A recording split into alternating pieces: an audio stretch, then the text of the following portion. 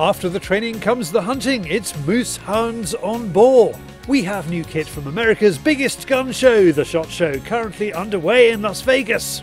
Rhinos will be gone in a decade. We have an exclusive interview with rhino farmer Pete Warren.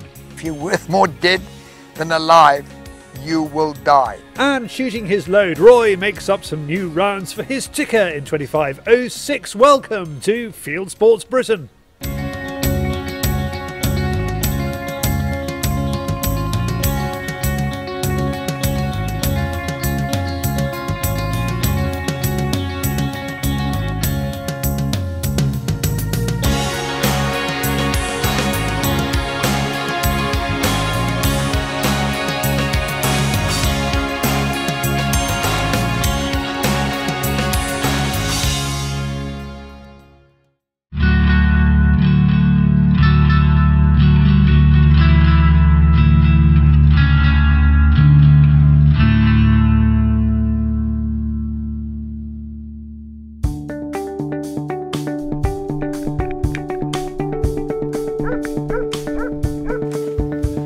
Is in Sweden, and after seeing the incredible work they do training dogs to hunt boar here at Mamima Jakt, he is now getting a chance to hunt boar on foot with a highly skilled moose dog, which thankfully knows the difference.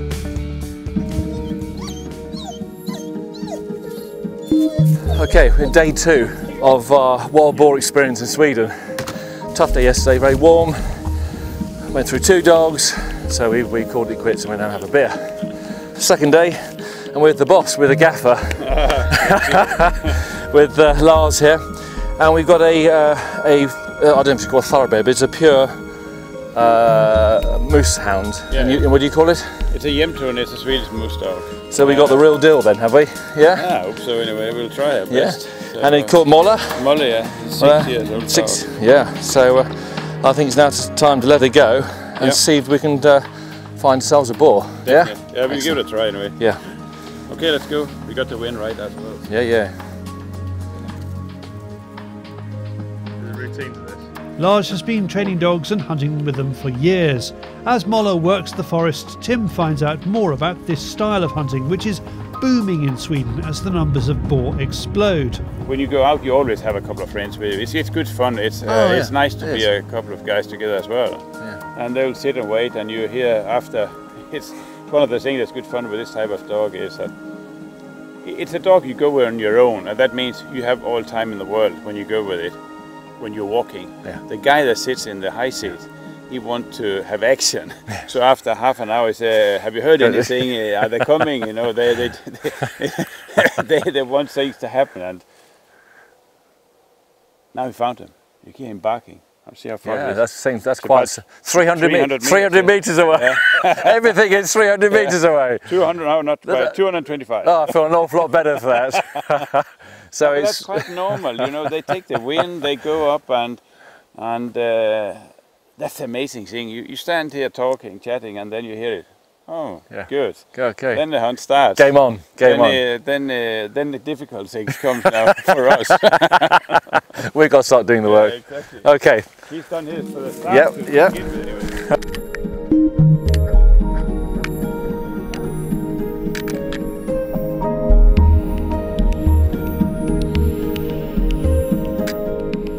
Now you can see he's standing, uh, and that's the, the, the picture here shows that he's standing. Yeah, Look at that. yeah. And on the map you can see where we are, and he's standing there. That's our position. That's the car we put outside, and uh, he's he's been running through this area here and down up the wind and got it there. Oh, I see. So Yeah, he's yeah. standing So there he- exactly now. So we're, we're here We're here there, yeah. and he's over here somewhere. we're gonna cross those two. I don't. I, we can't call them mountains. We call You've them hills. Hills, Yeah. hillocks, That'd be better, yeah. Yes, that's right. Yeah, Swe- Swedish mountains. Yeah. do that. Southern Swedish mountains. You're here now. The dog's getting really excited. No, it's not it. That's not it. Yeah? He's, yeah, you can say he's getting excited, but he's got a, he's got a they uh, they're chasing him now. Oh right. You can hear that. He's, I used to say he's screaming like a girl when Yeah, they yeah. chase him. Now he's now they're running. He's he's quiet now. So you see now you see on this side you see he's running. Oh, he's running, yeah, yeah, yeah. Now he's running. He's- you can follow that, and I, I can hear it because uh, See, I know how he reacts because I know the dog very well. as, as a hunter, you've got no idea how aggressive that boar is, what it's going to do, what the dog's going to do, so you've got to be really alert. Yeah, yeah, you have to Yeah, be yeah, really. yeah, yeah, yeah.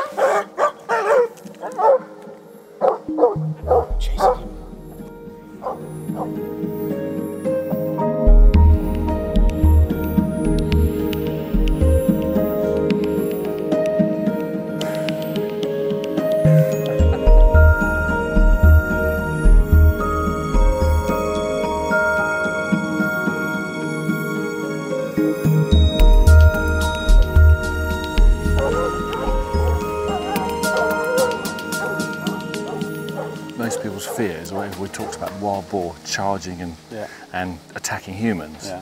How you know, how much of a problem is that? Is it just Yeah. when they're injured, or when they're with with um, Yeah. with piglets, or Yeah, definitely. But of course, every time you go out with a dog, you what do you say? You seek the problem yes, because the, the dog is, is, is going for the wild boar, and You're going into the area where, where the problem is, or not the problem, where you have the stand for the, with the dog, of course. And and if they attack, I don't think they will attack you, but they will attack the dog. Hmm. And if you're in the way, and but but I'm nearly 100% you can say for sure if, a- if a wild boar comes out like this towards you, and the head is like that, and he's running flat out against you, as soon as he's three, four, five meters away from you, he will go that way. If the head is pointed that way, he'll still run towards you, but Yeah. he'll go that way. But if he's facing straight to you, then you find a tree. Okay, we've got got the dog down the bottom about 50 metres away, and the, the boar are actually in the bracken, and they're not they're, they're just not moving. So what Lars is going to do is going to work his way around, and the wind's blowing towards us. He's going to go upwind of them. If they if they catch a slight scent, they're very very sensitive smell. He may just push them towards us. Um, it's not easy because also I've got to consider Lars. Don't want to shoot the gaffer. Not a good thing.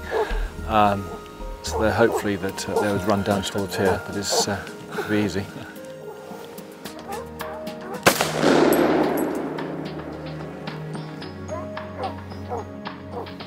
Dave, come here, come here, quick, quick, this down, right. Wow, and that is what you call proper, proper hunting. Two boar came flying out of the bracken and through the thick, the thick cover here. I couldn't see them, couldn't see them, then I could, and I couldn't through here. And suddenly had an open area here. We had a, the bigger, darker boar and the and the slightly smaller one behind it. And uh, unfortunately, I lost sight of the, the bigger one because that's one um, I was home to shoot.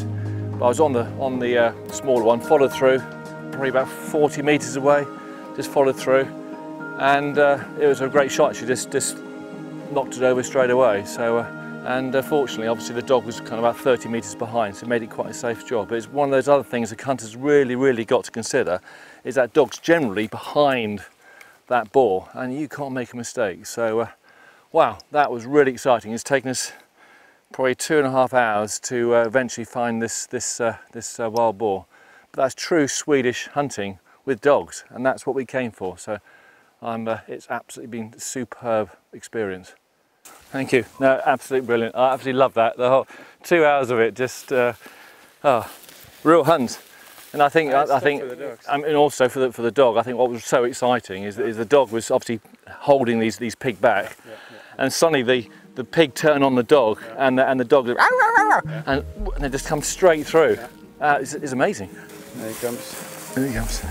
smelling. Where is it? ah, there it is. Good. Well done. You are a brave dog, you are. Sometimes you wonder if he's brave or dumb. I think also it's not easy. No. You, you do need to have a, a really good dog. Yeah, yeah, The, the hunter needs to be pretty well trained, so it's- you can't just walk out and, shoot a bour. We just demonstrate it. It's quite tough, you know. It's tough, it is. And uh, a lot of people think uh, I'll get a dog and then I'll start hunting wild boars. uh, I would say, some people say it's one out of 10. I would say it's one out of 25. That would be, be good maybe. Wow. Sometimes it's even worse. But it, it's difficult to get a good dog that will, that will a lot of dogs will maybe uh, chase this type of wild boar, but as soon as you get them a little bit bigger, Bigger. They'll just, oh, No, that's a that- big one, and they'll go the other way. a lot of times, but Okay. It's good fun. It's a fantastic. Uh, I think it's a fantastic wildlife in, in our forest, and I, I love it. So Tim bags his boar and comes away with a far better understanding of how effective the Swedes are at using these brave dogs to hunt out boar. If you want to find out more about dog training at the centre, go to mamimajakt.se. Well done, Mr. Pilbeam. Sweden looking a lot warmer than normal for this time of year. Now, someone who doesn't look normal at any time of year, it's David on the Field Sports Channel News Stump.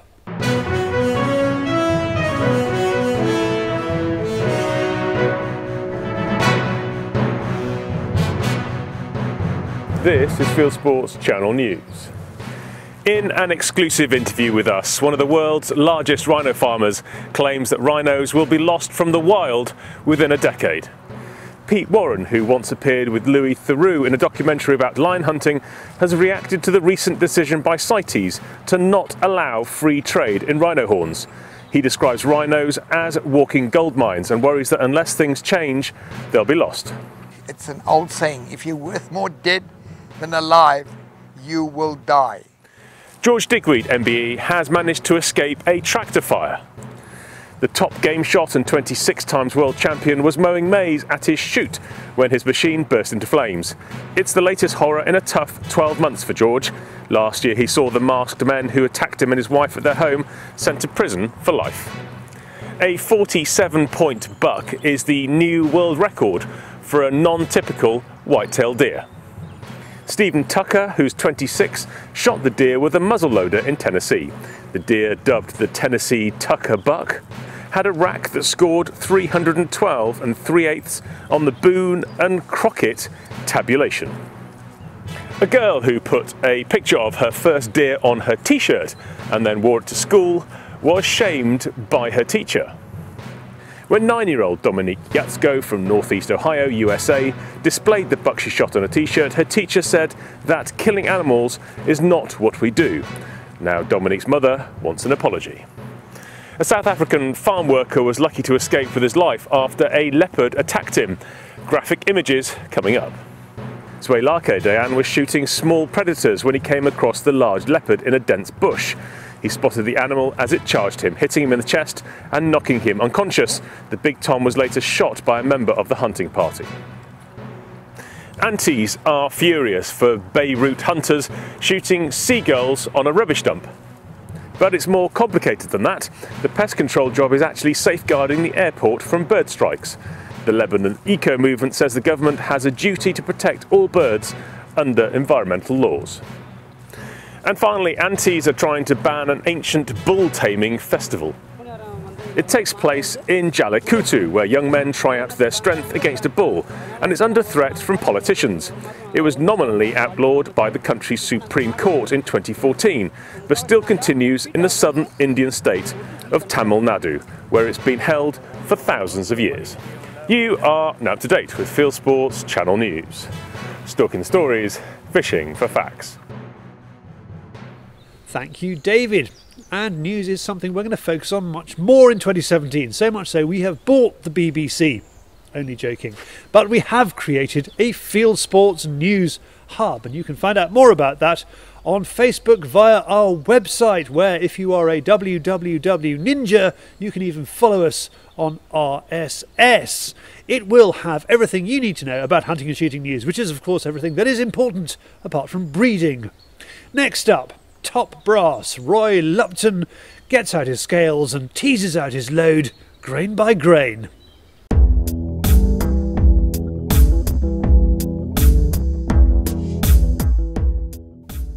Well, we've got a nice new 2506 that we've been playing with, and so far we've just been shooting factory ammunition out of it. We're getting um, a sub 1 MOA group out of the rifle at the moment, but I, I still think that we can improve on that. So what we're going to do is we're going to do some reloading for it. So we've got a brand new RCBS um, reloading kit, and we're going to do some unboxing and literally just go through from start to finish. Um, a very brief overview of reloading. And when I started reloading, it, it filled me with fear and dread because you just think, oh, crikey, it's going to be you know really complicated. You're going to have to do lots of reading, lots of research. But and I, I think with reloading, you can take it as far as you want to take it. You can get into it, work up a load, to a, a stage that you're happy with, or you can take it to the nth degree. And it really depends what sort of personality you are. If I can get something that's clover leafing, you know, I'll be happy. But as I say, we're just going to set it up to show how simple it is to set up and how quickly and easily you can make some rounds. One caveat I will put in is to make sure that you put yourself away, tuck yourself away, because you don't want any outside distractions. So make yourself a cup of tea, take a couple of biscuits, turn your phone off, and just concentrate on what you're doing. It's only taken five or ten minutes just to set up the stand um, on the work surface, and um, as I say, it would be a little bit quicker. Yeah, if it was um, just stored away in a box and it wasn't all new, but we just had to refamiliarise ourselves with um, a couple of the bits in there, and then we shall be ready to kick off. So go down. So we're just going to get this in line. So we just tighten that collet up And with the magic of television, that is 20 done in less than a second. So a couple of other pieces of equipment that's not included in the kit that you definitely need. A powder trickler and a, a very, very accurate set of digital calipers. There we go, 2506 Remington. I'm primarily looking for around for Chinese water deer, muntjac, roe and fox. So we can go a little bit lighter on the grain weights I think we'll try out the 100 grain and the 87s to start off with, with Vihtavuori N160, which we've got just here. The max that we want to use is 54. We'll do four sets of five. So we're going to back off from the maximum. We'll come down, I think the mid-range on here is saying 52. So we will go um, 52 and a half grains and work up from there uh, to just under the maximum and see where that takes us. So we've got the um, boat tail soft point 100 grains that we're going to be using. So touch it in, give it a twist, and then we seat it down. And everyone, we just check with the calipers. As I say, we want this to be about 3 to 40. There's our 20 rounds. What we're going to do is we're going to go and shoot three shot groups. Um, if we get pretty much where we want with the three shot groups, then it gives us a couple of shots just to see how they're going out at 200 and 300 possibly. So we'll have a play with that um, and see what works. Okay, so we're now out on the range as if by magic. We've got the different types of rounds and we've got a couple of factory that we're going to put through as well. Now, we're not bothered at all about zero. All we're bothered about on this exercise is just what grouping we're getting from each of the uh, sets of rounds. So what we're going to do is we're going to start off with the factory, see what we get from the factory. In between every set of rounds, what we're going to do is we're going to clean the rifle down and let it cool. Now, the Tikka T3 um, that we've got here in 2506 is um, a lightweight model, so the barrel is not a heavyweight, it's not a varmint barrel, so we are just, because we want to do three shot rounds, we're just going to let it cool a little bit, clean it in between, and then hopefully that'll give us a, a true indication of, of what we're doing.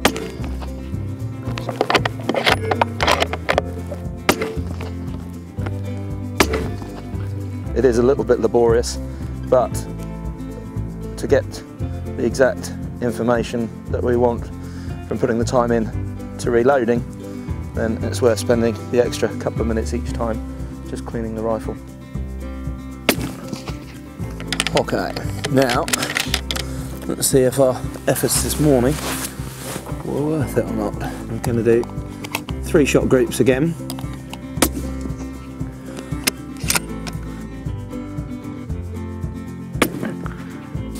Okay, so I'm just checking the cases as we're going up in the loads to make sure we've got no signs of excess pressure on the cases. So everything looks to be absolutely fine there. So we'll have a, another quick clean down. We're losing light rapidly now, which is a, a shame.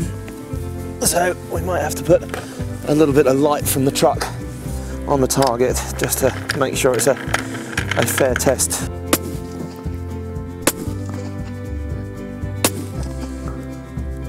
Okay, so let's just have a quick run through.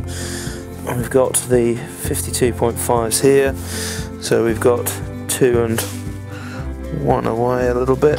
It's that third one that we're losing it at, and when we're going back up to maximum, up to 54, we're we're coming apart again. So we'll have a, another batch of rounds just with a couple of different alterations on that and just see if we can get the group together and then clover leafing. But yeah, I mean, from a from an initial start off, nothing's overly concerning, nothing's overly bad, but nothing's overly brilliant with that. So um, yeah, I mean they're, they're, workable groups, and you could pretty much take all of those out and, and safely go and shoot a fox or go and stalk a deer.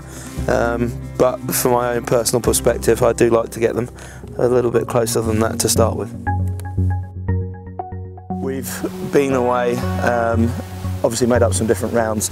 We found a powder charge that was coming together, but now what we've done is we've uh, messed around and we've changed the seating depth of the bullets in the cases so we've altered the overall length of the cartridge. So we've got a few different batches at different lengths and we're just going to see what works best. So we've stayed with the same powder charge and all we've done now is just come in on the seating depth at different levels um, down to about a standard factory level um, and now we're just going to see what results we get. So nothing, again, it, the, the, reloading we're doing is, um, is not rocket science, it's all pretty simple stuff. So we're just going to make sure that we're shooting each set through a clean barrel um, and hopefully we shall get better results than we did just with altering the powder charge.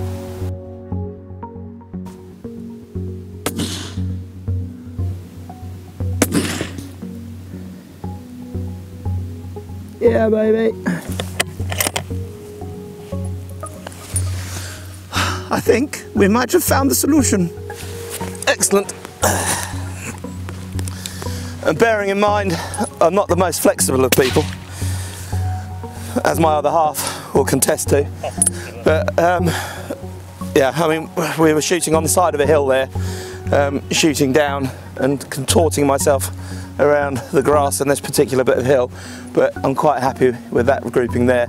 I think we are pretty much ready to take this out and uh, start extending the ranges. As I say, we've been out with it already with the factory loads. We've taken it out and we've stalked with it because the grouping we've got was absolutely acceptable to go stalking with. Um, but with the reloading, I think it's now allowed us to really tighten that group up so we've got the confidence to go out and really start extending the ranges. Almost perfect, almost what I was looking for. So we've got two shots through this hole here and one that's touching up there. So you can't really get a lot better than that. Um, I mean that one just being a little bit higher could have probably been my error. So, um, but as I say, when you're when you're shooting in these conditions and shooting on the side of a hill and uh, with everything else, I'll take that one. So we're uh, we're more than happy with that. I think it is now time to go home, have a well-deserved cup of tea, and then we can come out and play on a better day and see what we can do. Thank you, Roy. Now from the North Downs to the rest of the world of hunting and shooting on YouTube, it is Hunting YouTube.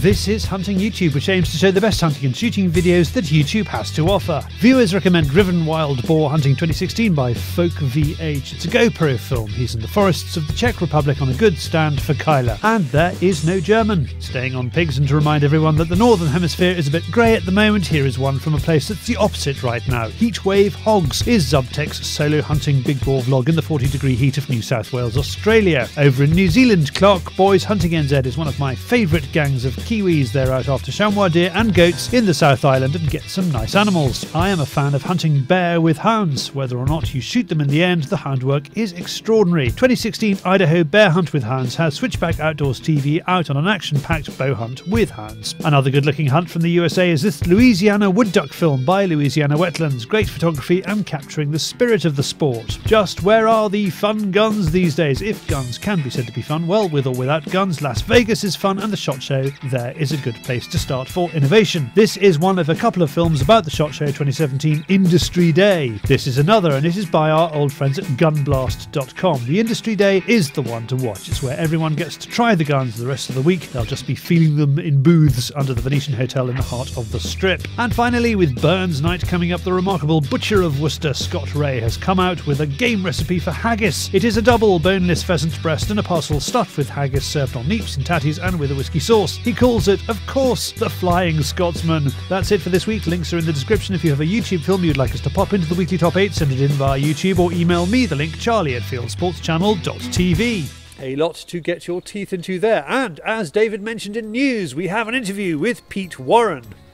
As you probably know, rhinos are about to become extinct, partly because of poachers, but mainly because the lily livered antis who run our governments won't legalise the trade in rhino horn. Find out how that will help. Be informed in pub debates by clicking on the link on the screen to watch it.